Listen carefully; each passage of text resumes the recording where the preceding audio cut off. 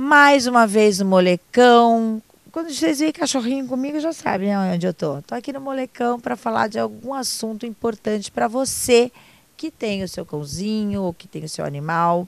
Hoje a gente vai falar de problemas cardíacos de, das pessoas que das pessoas não, eu já já lido com eles de igual para igual, né? dos, dos animais, dos cães principalmente, que têm insuficiência cardíaca, né? Essa é a pauta de hoje. Né? A pauta de hoje é um tema assim bastante importante, Renata, porque uh, muitas pessoas, muitos proprietários, quando descobrem que o seu animal, o seu cãozinho, tá cardiopata, a primeira coisa que vem é aquela dor no. O que, que eu fiz? Eu já comigo aconteceu isso. Já. O que que eu fiz? É, exatamente, acha assim que ai, eu vou perder o meu cãozinho, né? Fica aquela angústia. E assim, o que justamente a gente quer alertar é que muitas cardiopatias elas podem ser evitadas. E outras, quando a gente faz o diagnóstico assim com tempo, com antecedência, a pessoa faz o tratamento e consegue prolongar a vida daquele animalzinho. Lógico que vai ter que ter certos cuidados, mas assim, vida normal durante muitos anos.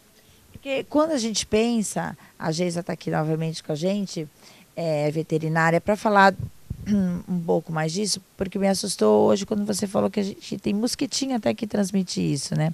Porque quando a gente fala em, em cardiopatia, é, a gente já falou algumas vezes aqui no programa, o cachorro de porte pequenininho tem mais uma tem mais pode ter mais propensão a ter, né? Tem que ver a, a carga genética e então a gente acha que é isso, mas que é não é que é né? só isso. Eu achava que era só isso. Hoje conversando com a Geisa, é, que ela falou que na, não. Na verdade, assim, o que, que eu acho que o proprietário ele tem que ficar muito atento. A prevenção sempre é a melhor forma da gente prever as coisas, né? Por quê? Porque hoje realmente ah, os cardiopatas tem, hoje existe um vermezinho que a gente chama de girofilariose. A gente previne, hoje tem remédios na, que encontra na loja para prevenção de girofilária. Realmente é um mosquito. E esse verme adulto, ele se aloja no coração pode ser uma cardiopatia adquirida que esse cão teve por um descuido do proprietário. O que, que seria o, o, o ideal?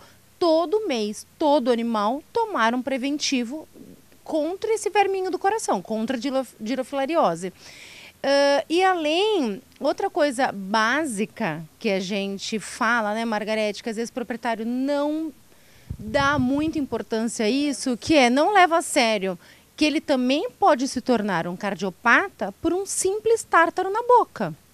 Isso a gente já falou.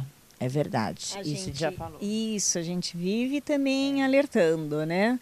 E como a pessoa às vezes fica com pena, encontra certas dificuldades de fazer a escovação, de fazer essa higiene bucal, é, então vai passando, vai passando, e aí quando o animal já está assim num estado deplorável, ele justamente já está velhinho, aí a pessoa não pode fazer porque justamente tem que, tem que respeitar uma certa cardiopatia que ele já tem. E outra coisa também que os proprietários pouco também uh, dão importância é com relação ao peso do animal. Gente, é muito importante ter um animal que esteja naquele score corporal ideal, que é levemente para o magro, né, para o acinturado, com boa musculatura, mas sem gordura sobrando, porque um animal obeso ele pode desenvolver vários outros problemas eh, de saúde e um deles vai afetar o coração. Mas no mercado já tem, existem, é, principalmente produtos para prevenção, né? Sim, para prevenir, principalmente em relação à obesidade, realmente. A obesidade é um perigo para a gente também, para eles também. Então, o cão, o ideal é manter o peso dele em situação ideal para evitar que ele se torne um cardiopata. Justamente o que a gente está falando, o que a gente quer abordar, assim, você pode até perguntar para a Geis, ah, mas quais são os sintomas de um animal que está apresentando uma cardiopatia? Justamente o que a gente quer alertar é que seria muito interessante que antes mesmo que ele apresente alguns sintomas, que a Geis até pode falar a respeito daquelas primeiras coisas que a gente vai observar, é assim, um poodle está com sete anos, não vai ter que visitar o veterinário uma vez por mês, uma vez por ano para fazer a vacinação? Pede para fazer um eletro. Nem custa. Às vezes a pessoa fala assim, ah, mas o desembolso é tão grande.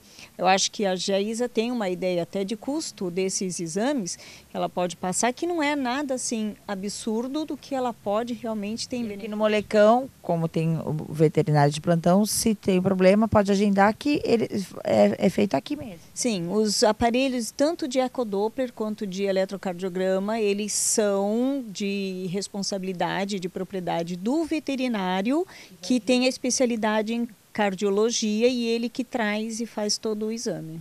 E aí não é essa. É, é as pessoas não, podem se programar para fazer, né? O que, que eu acho importante, hoje até a Margarete falou uns sete anos. Eu, eu puxaria para menos. Hoje um pudolzinho com cinco anos de idade, um, as raças pequenas, a partir de cinco anos de idade, todo ano eu já faria um exame. Deixa eu ver se por quê? São raças que têm uma predisposição, né, maior a, a, se tornar um cardiopata. Que raças seriam essas, Geisa? Ah, hoje a gente fala hoje o que, que os cardiologistas falam, os especialistas falam. Poodle, cocker, o cavalier que está chegando no Brasil, né? Maltese. Um maltezinho, uh, assim, são tem grandes chances de se tornar um idoso cardiopata. Então, com essas raças, eu já ficaria alerta e pede um exame para o veterinário, solicita, o veterinário vai passar, vai chamar um especialista, vai vir, faz o exame. Fazendo todo ano esse exame, quanto melhor, mais cedo o diagnóstico, mais tempo esse animal vive com qualidade de vida. Agora, aqui atrás a gente tem ração para eles também, né? Que, que pode ajudar na, na, na prevenção contra. Na, na, prevenção, não, na verdade, quando já é cardiopata, a alimentação tem que ser mudada. Né? Isso, exatamente. Antes disso, lógico, a gente sempre aconselha usar um produto de boa qualidade, uhum. né? Ou que seja até mesmo uma refeição caseira, mas extremamente bem equilibrada, uhum. assim como um produto industrializado de boa qualidade, né?